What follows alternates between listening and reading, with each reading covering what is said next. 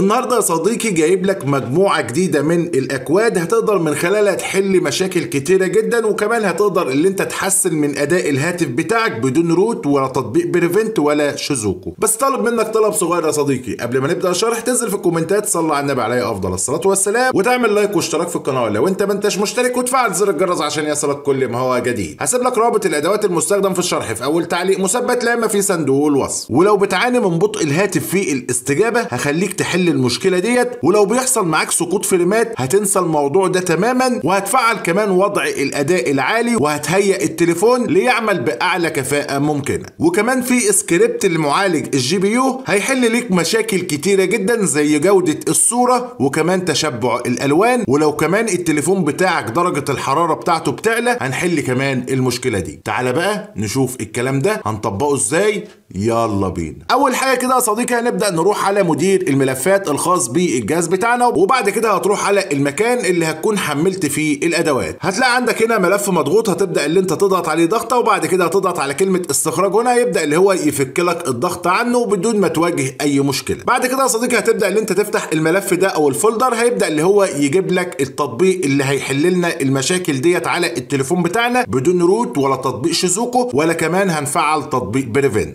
وهتلاقي عندك كمان ال folder ده ديت السكريبتات اللي هنحل بها المشاكل ديت أو الأكواد اللي هنحل بها المشاكل ديت تماما من على التليفون بتاعنا. أول حاجة كده يا صديقي هتبدأ اللي أنت تثبت التطبيق ده وبعد كده هنبدأ اللي إحنا نطلع من هنا هتلاقيه تثبت معاك بنفس الأيقونة ديت. هنبدأ نروح نفتحه هيبدأ اللي هو يفتح معاك بنفس الواجهه ديت. هتديله كل الصلاحيات بتاعته علشان يشتغل بدون ما تواجه أي مشكلة على التليفون بتاعك. وهنا يا صديقي زي ما أنتم شايفين جايب لك هنا إمكانيات التليفون بتاعك ملناش دعوة بيها علشان أنا هنا يا صديقي بقول لك لو التليفون بتاعك إمكانياته ضعيفة جدا هتقدر تحل جميع المشاكل اللي بتواجهها أثناء استخدامك للألعاب. أول حاجة كده يا صديقي هنبدأ اللي إحنا نعملها هنبدأ نروح على الثلاث شرطات اللي فوق دول وبعد كده هنبدأ اللي إحنا نروح على الذاكرة الافتراضية وبعد كده هتبدأ اللي أنت تفعل الاختيار ده والاختيار ده وبعد كده يا صديقي هتبدأ اللي أنت تطلع من هنا هتروح على الاختيار اللي بعد منه هيفتح معاك بنفس الشكل ده. وهنا يا صديقي عايزك تكون مركز انت عايز تعمل إيه. عايز تاخد اداء كويس في الألعاب وبيحصل مثلا معاك بطء وانت بتستخدم التليفون في التطبيقات العادية انت هنا لازم تكون عارف انت عايز تعمل إيه علشان تقدر اللي انت تاخد أعلى استفادة ممكنة من الأكواد دي. وديت مش أكواد ديت سكريبتات هتبدأ اللي انت تطبقها على التليفون بتاعك علشان تاخد أعلى أداء ممكن في المشكلة اللي انت بتواجهها. أول حاجة كده يا صديقي عندك هنا وضع المتوازي اللي هو عليه ده اللي أنتوا شايفينه ده اللي هو متعلم عليه. وبعد كده يا صديقي عندك هنا وضع الأداء والأداء ده تقدر اللي انت تظبط بيه الأداء التليفون بشكل عام. انت واخد بالك من الكلام ده؟ اللي أنا بقوله لازم تاخد بالك منه. لو انت بتستخدم تطبيقات عادية هتبدأ اللي انت تستخدم وضع الأداء ده. طيب لو أنا البطارية بتاعتي بتخلص بسرعة والأداء بتاعها سيء جدا هعمل إيه؟ هختار هنا وضع توفير الطاقة وهيبدأ اللي هو يسيستم لك أمور البطارية بتاعتك. طيب لو أنا بقى راجل بحب ألعب الألعاب وعايز أداء عالي جدا على التليفون بتاعي هبدأ اللي أنا أفعل وضع ال gaming كلام واضح علشان كل حاجة من دول تقدر اللي أنت تشوف الحاجة اللي أنت عايزها وبعد كده تقدر اللي أنت تطبقها. طيب إحنا هنا يا صديقي عايزين ناخد أداء كويس ومحترم على التليفونات بتاعتنا في أداء الألعاب. أنا هنا هسيبه على ال gaming وبعد كده هطلع من هنا هضغط على الثلاث شرطات دول وهروح بقى على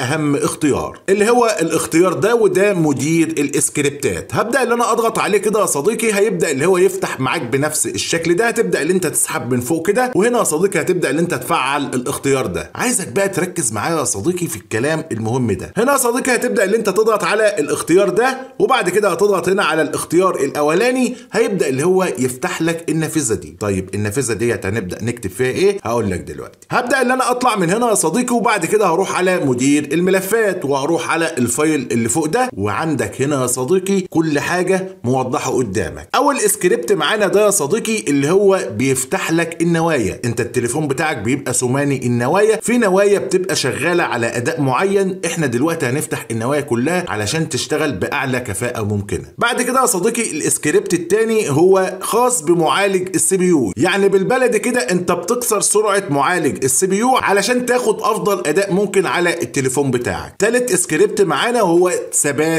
الفريمات. السكريبت ده انت لو استخدمته يا صديقي مش هتواجه drop frame ولا سقوط فريمات نهائيا. رابع سكريبت معانا ده يا صديقي وهو خدمات الألعاب. يعني التليفون بتاعك هو مش هيبقى flagship طيب ال flagship ده هو flagship ليه؟ علشان الإمكانيات بتاعته عالية. طيب دلوقتي المعالج اللي هيكون الإمكانيات بتاعته قوية دي هيكون ليه خدمات تانية. طيب إحنا علشان نقدر نضيف الخدمات ديت نضيفها إزاي؟ هنضيفها من خلال الاسكريبت ده. خامس اسكريبت ده يا صديقي والاسكريبت ده مهم جدا تقدر اللي أنت تستخدمه على جميع التليفونات. الأندرويد والإسكريبت ده هيحل لك مشاكل كتيرة جدا زي تحسين جودة الصورة وتشبع الألوان. والإسكريبت السادس ده والأخير هتحل بيه مشكلة سخونية الهاتف وهيحل لك المشكلة ديت بشكل جزئي. يعني مش هيخلي لك التليفون بتاعك ثلاجه لازما برضك التليفون يسخن. بعد كده يا صديقي هتشوف أنت عايز تحل مشكلة إيه. طيب لو الفريمات عندك بتسقط هعمل إيه؟ هبدأ إن أنا أروح على السكريبت ده هضغط عليه ضغطة مطولة وبعد كده هضغط على إعادة تسمية وبعد كده هبدأ إن أنا آخد الكلام ده كله الاسم بتاعه نسخ وبعد كده يا صديقي هعمل إلغاء وهنا يا صديقي هبدأ إن أنا أطلع من هنا وهروح على التطبيق وبعد كده هبدأ إن أنا أنسخ الاسم ده هنا زي ما أنتم شايفين كده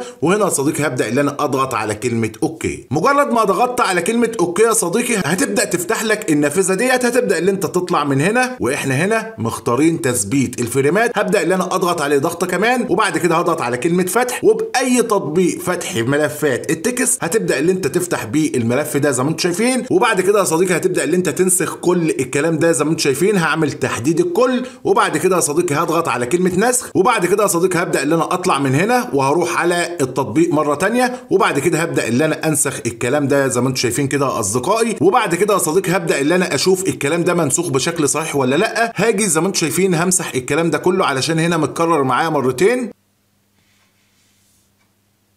وبعد كده يا صديقي هبدأ ان أنا أضغط هنا على علامة ال disk اللي فوق ديت. هيبدأ اللي هو ينحفظ معاك. لو أنا حابب أضيف كود تاني هضغط على الاختيار ده علامة ال plus وبعد كده هضغط على الاختيار ده. وهنا يا صديقي هبدأ ان أنا أشوف أنا عايز أفعل إيه تاني. لو أنا عايز أكسر سرعة المعالج وأحسن من معالج ال CPU هبدأ ان أنا آخد الإسكريبتين دول يا صديقي. زي ما أنتم شايفين كده هبدأ ان أنا أضغط على الاختيار ده ضغطة مطولة. وبعد كده هروح على إعادة تسمية. هبدأ ان أنا أنسخ الكود ده أو الاسم ده بالكامل زي ما أنتم شايفين كده. أنا عملت له قص هرجع تاني زي ما أنتم شايفين. أنا كده أخدته خلاص. وبعد كده يا صديقي هبدأ إن أنا أروح على المكان ده هبدأ إن أنا أنسخه. وبعد كده هضغط على كلمة OK. هيبدأ اللي هو يفتح لك الكلام ده كله زي ما أنتم شايفين كده يا أصدقائي. هتبدأ إن أنت تمسح ده كله. وبعد كده هبدأ إن أنا أطلع من هنا. وهتروح على الملف مرة تانية هتضغط عليه. وبعد كده هتضغط على كلمة فتح. وهنا يا صديقي هتبدأ إن أنت تفتحه بأي تطبيق فتح ملفات ال text. وبعد كده هتبدأ إن أنت تحدد الكلام ده كله زي ما أنتم شايفين. وبعد كده هاخده نسخ. وهنا يا صديقي هبدأ إن أنا أروح على التطبيق مرة تانية هبدأ إن أنا أنسخ الكلام ده بنفس الشكل ده. بعد كده يا صديقي هبدأ إن أنا أضغط على علامة ال disk اللي فوق ديت هضغط علشان تسيف لي السكريبت ده. وهنا يا صديقي تقدر إن أنت تضيفهم بشكل كامل ما عندكش أي مشكلة. وهقول لك إزاي تفعل الحاجة اللي أنت عايزها أو ما تفعلهاش. بعد كده يا صديقي هبدأ إن أنا أروح على التطبيق مرة تانية. وبعد كده هبدأ إن أنا أضغط على الاختيار ده. وبعد كده يا صديقي عندك هنا on boot. مجرد ما تضغط على كلمة on boot يبقى أنت كده فعلت الاختيار ده. وبعد كده يا صديقي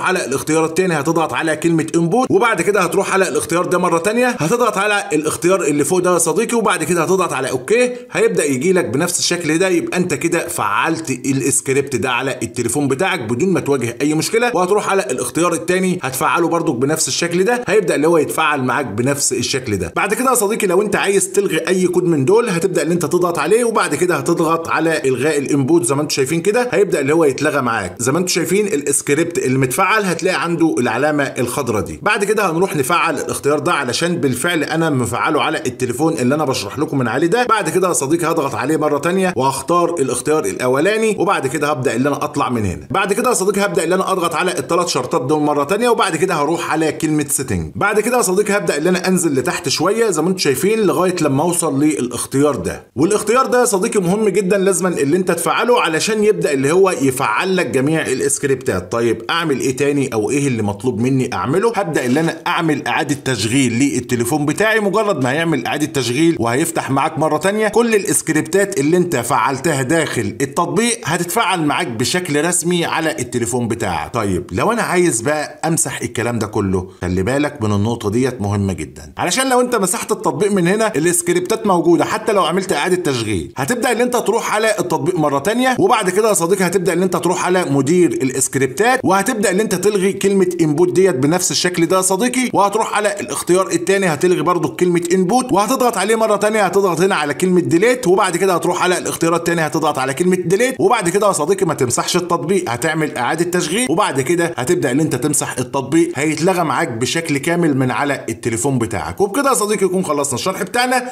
سلام.